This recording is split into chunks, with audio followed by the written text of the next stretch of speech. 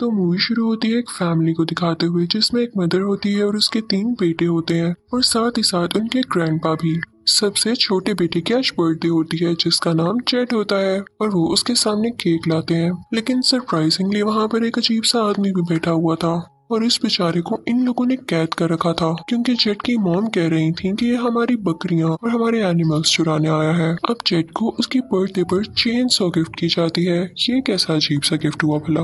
वो सारे उस बेचारे आदमी को काफ़ी टॉर्चर कर रहे थे, जिसे ये लोग चोर समझ रहे थे। और अब ये जेट से कहते हैं कि तुम इस चेन सो से इस आदमी को मार डालो।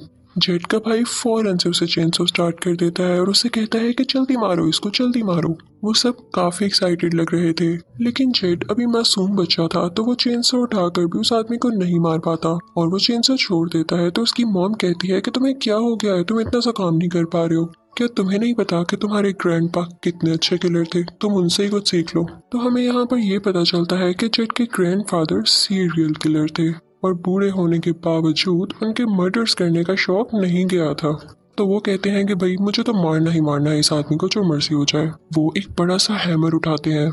वो हैमर वो काफ़ी ज़ोर से उस आदमी की गर्दन में मारते हैं, जिससे वो बेचारा आदमी मर जाता है। उसके बाद हमें सीन दिखाया जाता है प्रेजेंट टाइम का, जहाँ पर हम एक कपल को देखते हैं, जो कि गाड़ी में कहीं जा रहा होता है। वो काफ़ी खुश लग रहे थे। कि तभी उनकी गाड़ी के सामने कोई एनिमल आ जाता है, वो अपनी गाड़ी फ़ौरन से रोकते हैं तो उन्हें पता चलता है कि कोई एनिमल नहीं है, बल्कि कोई बच्चा है जिसने फेस मास्क पहना हुआ है, काओ का।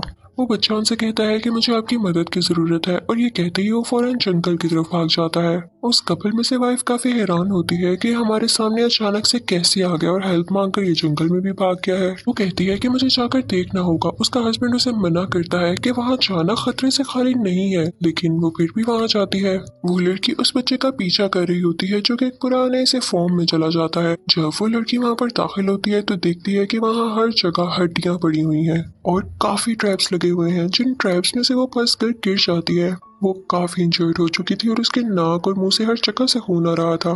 फिर हम देखते हैं कि वो बच्चा अपना मास्क उतारता है और आप ये सुन के हैरान रह जाएँगे कि वो बच्चा था कौन। जी हाँ वो बच्चा जेट था। दरअसल उसकी फैमिली ने उसे किसी गैंगस्टर के पास भेज दिया था, जो उसे किलिंग्स करना सिखाता था। वो आदमी जिसके पास वो ट्रेनिंग ले रहा था, वो उससे कहता है कि इस लड़की पर कार इंजन गिरा दो और जेट ऐसा ही करता है। इससे वो बेचारी लड़की मर जाती है। तभी वहाँ पर शेरिफ आ जाता है, जो कि उन लोगों पर बहुत गुस्सा होता है और कहता है कि जिस लड़की को तुम लोगों ने मारा, वो मेरी बेटी थी, मैं तुम लोगों को नहीं छोड़ूँगा। लेकिन ना तो उसके पास कोई वारंट था और ना ही उसके पास कोई ऐसी चीज़ थी जो कि इस बात का पता लगा सकती कि इन्हीं लोगों ने उसको मारा है, क्योंकि इन लोगों ने सारे प्रूफ सारे एविडेंस छुपा दिए थे। लेकिन फिर भी वो शेरिफ इतना कंट्रोल रखता था कि वो उस बच्चे को अपने साथ ले जाकर इन्वेस्टिगेशन कर सकता था तो वो जेट को अपने साथ ले जाता है। वो शेरिफ काफ़ी अच्छा आदमी होता है, वो जेट को मेंटल हेल्थ स्कूल में डाल देता है, ताकि इसके दिमाग में जितने भी क्रिमिनल थॉट्स हैं वो चली जाए और ये पढ़ लिख कर एक अच्छा बच्चा बन जाए। फिर शरीफ चाहता है जेट की मोम के पास और उसे कहता है कि तुम्हारी वजह से मेरी बेटी मरी। मैं तुम्हें तुम्हारा बेटा कभी नहीं लौटाऊँगा और ये कहकर वो वहाँ से चला जाता है। फिर हम देखते हैं कि दस साल गुजर जाते हैं। हमें वही स्कूल दिखाया जाता है, जहाँ पर शेरिफ ने जेट को दाखिल करवाया था। वहाँ पर एक नर्स आई थी, जिसका नाम लिजी होता है। उसका स्कूल में, यानी मेंटल हेल्थ स्कूल में पहला दिन था। तो वहाँ का एक आदमी उसे बताता है कि यहाँ के सब बच्चों के नाम आते ही चेंज कर दिए गए थे ताकि उन्हें कुछ न याद रहे कि वो क्रिमिनल फैमिली से बिलोंग करते हैं और उनकी पहचान भी नहीं बन जाए। अब लिसी को एक आदमी दिखाई देता है जिसका नाम बट होता है। वो उसके पास जाके बैठती है, लेकिन वो उसे कोई लिफ्ट नहीं कराता। तभी वहाँ पर एक और लड़का लिसी को बताता है कि चुप ही रहता है और यहाँ पर हमें अंदाज़ा हो जाता है कि जेड भी बचपन में खामोश ही रहा करता था तो हो सकता है कि ये मोटा बच्चा जेड ही हो।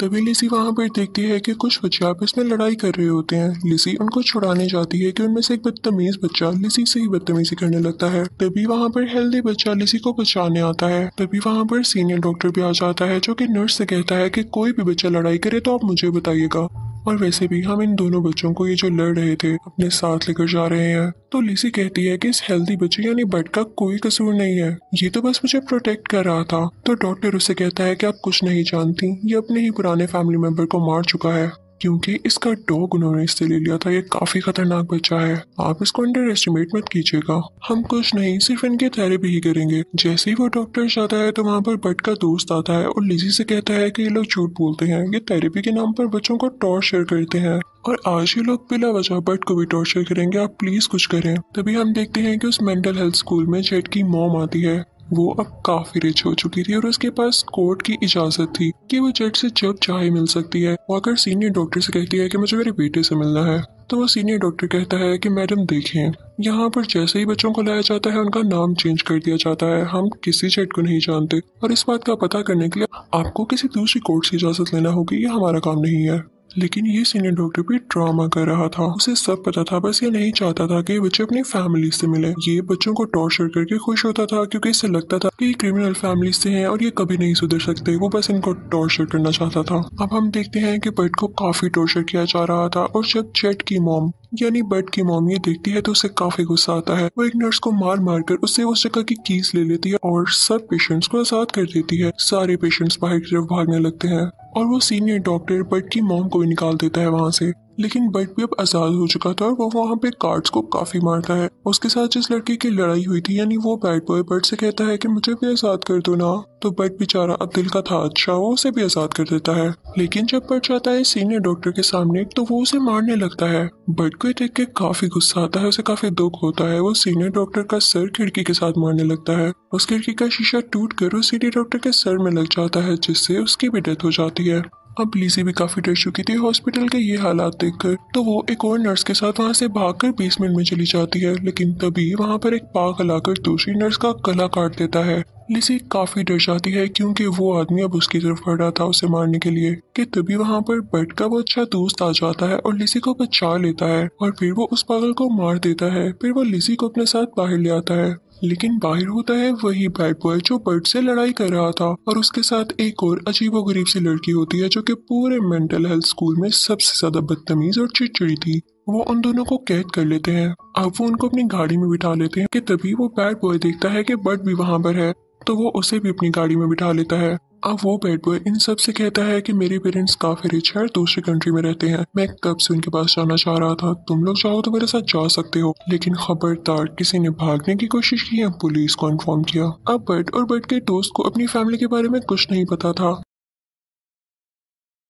वो शुरू से इसी मेंटल हेल्थ स्कूल में रह रहे थे तो उनका भी दिल चाह रहा था कि हम भी देखेंगे फैमिलीज़ कैसी होती हैं। तो वो लोग मान जाते हैं और लिजी बेचारी भी इनके साथ होती है। दूसरी तरफ़ शेरिफ को भी पता चल जाता है तो वो सारी की सारी पुलिस इनके पीछे लगा देता है। उसे ये भी खबर हो चुकी थी कि जेट यानी बर्ड पीसी ग्रुप में है। वो अपने मेन पुलिस ऑफिसर से कहता है कि तुम्हें जहाँ पर भी जेट दिखे, उसे तुम शूट कर देना। और ये बात जेट की मॉम भी सुन लेती है। फिर हम देखते हैं कि वो पाँच बच्चों का ग्रुप उस जगह जा रहा होता है। लेकिन रास्ते में उन्हें काफ़ी भूख लगने लगती है तो एक रेस्टोरेंट पर रुकते हैं। और वहाँ पर वो बैड बॉय और उसकी दोस्त लोगों से गन छीन कर उन्हीं से पैसे लेने लगते हैं। और वो बैड बॉय वहाँ की वेट्रेस को भी मार देता है। लिसी मौका देख के यहाँ से भागने लगती है, लेकिन बर्ड उसे रोक लेता है कि ना जाओ कहीं भी। उतनी ही देर में वो बैड बॉय भी आ जाता है और वहाँ से एक गाड़ी चुरा कर ये पाँचों फिर से आगे चलने लगते हैं। लेकिन बर्ड के पेट में कोई गोली शूट कर देता है।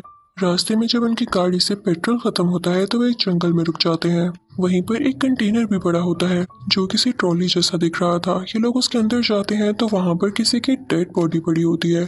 लेकिन अब इसके अलावा इनके पास कोई चारा भी तो ना था। उनको रात इसी में रुकना पड़ता है। यहाँ पर लेजी बर्ड का फाउंड ठीक करती है, उसका जख्म ठीक करती है। अब वो बैड बॉय बर्ड से कहता है कि अगर लिजी या तुम्हारा दोस्त भागने की कोशिश करें तो मुझे फ़ौरन से बताना। लेकिन जैसे ही रात होती है लिजी मौका देख के दोबारा से भागने लगती है। लेकिन बैड बॉय ये देख लेता है। उसे कहता है कि मैंने तुम्हें मना किया था ना, और इसी के साथ उसके साथ ज़बरदस्ती करने की कोशिश करता है। लेकिन वहाँ पर आ जाता है बर्ड का वही अच्छा दोस्त। वो एक बार फिर से लिजी को प्रोटेक्ट कर लेता है। वो बैड बॉय जाता है सीधा बर्ड के पास, और उससे काफ़ी बोलता है कि मैंने तुम्हें कहा था ना इन पर नज़र रखने के लिए, तुम अंधे हुए हुए थे, तुम कहाँ थे? बट को ये सब सुन के बिल्कुल भी अच्छा नहीं लग रहा था तो वो उसी पर अटैक कर देता है और उस बैड बॉय को घसीटता हुआ आगे ले जाता है और उसका सर क्रश कर देता है, जिससे उसकी डेथ हो जाती है। अब जब सुबह होती है तो उस बैड बॉय की दोस्त को वो नज़र नहीं आ रहा होता। वो सोचती है कि मेरा दोस्त कहाँ गया और उसे ढूँढने के लिए वो चली जाती है। पीछे से लिसी और बर्ड का वही अच्छा दोस्त अकेले होते हैं तो वो कहते हैं कि अच्छा मौका है भागने के लिए। लेकिन एकदम बर्ड का दोस्त कहता है कि वो जैसा भी है, मेरा दोस्त है, मैं उसे छोड़कर नहीं जा सकता। तो वो बर्ड को ढूँढने लगता है। दूसरी तरफ़ हम देखते हैं कि उस बैड बॉय की दोस्त को पुलिस पकड़ लेती है, यानी वही शेरिफ और उसे टॉर्चर किया जाता है। वो कहता है कि मुझे बताओ, तुम्हारा दोस्त कहाँ गया? तो वो कहती है, मुझे खुद नहीं पता। तुम तो पागल हो गई हो, क्योंकि तुम्हारी बेटी जो मर चुकी है। इसलिए अब तुम हमें भी टॉर्चर करोगे। ये सुनकर शेरिफ को बहुत गुस्सा आता है, और वो उसके सर में शूट करके उसे मार देता है। लिसी और बट का दोस्त भी देख रहे होते हैं। तो वो कहते हैं कि हमें इनसे दूर ही रहना चाहिए, वरना ये हमें भी शूट कर देंगे। पुलिस जानती थी कि बाकी सब लोग भी कहीं ना कहीं यहीं पर ही मौजूद हैं।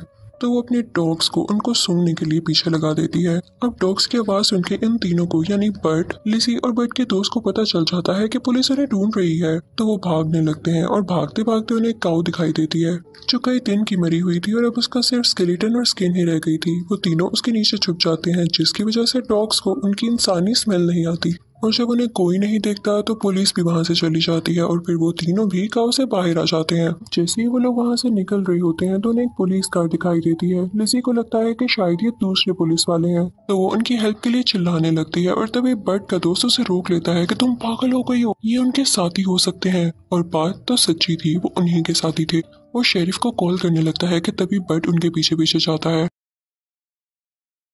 और उस पुलिस ऑफिसर का गला दुबाने लगता है। लेकिन वो पुलिस ऑफिसर बर्ट के सर में शूट कर देता है, जिससे उसकी डेथ हो जाती है। जब बर्ट का फ्रेंड ये देखता है तो उसे बहुत गुस्सा आता है और वो पुलिस ऑफिसर पर अटैक करने लगता है, जिसकी वजह से उस पुलिस ऑफिसर की भी वही डेथ हो जाती है। लिसी ये देख के काफ़ी परेशान हो जाती है और वो सोचती है कि सारे के सारे पागल थे, मैं कहाँ फंस गई? वो वहाँ से कार लेके भागने लगती है। उसने बट के दोस्त को भी ऑफ़र नहीं किया था कि साथ आ जाओ, लेकिन बट का दोस्त भी भागता भागता उस कार में बैठ जाता है और लिसी से कहता है कि तुम धोखेबाज हो। मैंने तुम्हें अच्छा समझा था, लेकिन तुम बाकियों जैसे ही निकली और तुम्हारी ही वजह से बट की भी डेथ हुई। बट के दोस्त की हालत खराब होने लगती है। पीछे से हम देखते हैं कि शेरिफ भी इनके पीछे होता है और इन पर काफ़ी ज़्यादा फायरिंग कर रहा होता है। अब शेरिफ के निशाने इतने पके थे कि एक बुलेट लगती है बट के दोस्त के मुँह में जिससे उसका मुँह काफ़ी खराब और डिसफिगर हो जाता है और एक गोली लगती है लिसी के हाथ में, जिससे उसकी गाड़ी का बैलेंस खराब हो जाता है और वो खाई में गिर जाते हैं। अब लिसी बेहोश हो जाती है, लेकिन जब उसकी आँख खुलती है, वो देखती है कि वो शेरिफ की गाड़ी में है। वो रेडियो से कई जगह कॉन्टेक्ट करने की कोशिश करती है, अपनी लोकेशन बताने का ट्राई करती है, लेकिन तभी शेरिफ वहाँ पर आ जाता है और उसे कहीं और ले जाता है। ये पता है कौन सी जगह थी? सेम वही जगह जहाँ पे शेरिफ की बेटी को मारा गया, और वहीं पर उसने बट के दोस्त को भी हैंग किया हुआ था। शेरिफ बताता है कि जेट कोई और नहीं, बल्कि यही लड़का था, जो कि पट का दोस्त था। जेट की मॉम को भी इस बात की खबर हो जाती है, जो कि शेरिफ के पुलिस ऑफिसर ने ही उसे दी थी, और वो वहाँ पर चेन सो लिए पहुँचती है कि वो जेट को याद करवाना चाहती थी कि ये वही गिफ्ट है जो हमने तुम्हें बर्थडे पर दिया। लेकिन शेरिफ उस पर अटैक करने लगता है। लेकिन किसी न किसी तरह वो चेट को वहाँ से आज़ाद करके अपने घर ले आती है। उसका फेस ठीक करती है और उसके फेस पर कुछ बैंडेजेस लगाती है। वो लोग शेरिफ को और लिसी को भी अपने साथ ले आए थे और जब उन दोनों को होश आता है तो वो वहाँ से भागने की ट्राई करते हैं। लेकिन जेट की मॉम उन दोनों को पकड़ लेती है। वो वहाँ पर जेट को बुलाती है और उसे चेन सो देते हुए कहती है की, ये लो, आज वो वक्त आ गया की तुम अपनी चेन सो का इस्तेमाल कर सको। जिस जिसने तुम्हें टॉर्चर किया, उससे अपना बदला लो। जेट भी सब चीज़ों से काफ़ी तंग आ चुका था, इसलिए वो अपनी चेन सो उठाता है और सीधा शेरिफ की चेस्ट में दे मारता है और यहाँ पर वो काफ़ी पेनफुल तरीके से मारा जाता है। लिसी वहाँ से डर के भागने लगती है, लेकिन जेट की माँ अपने तीनों बेटों को ऑर्डर देती है कि इसका पीछा करो। लिसी भागती जा रही थी, लेकिन भागते भागते उसका पाँव एक ट्रैप में फंस जाता है और वो गिर जाती है बेचारी।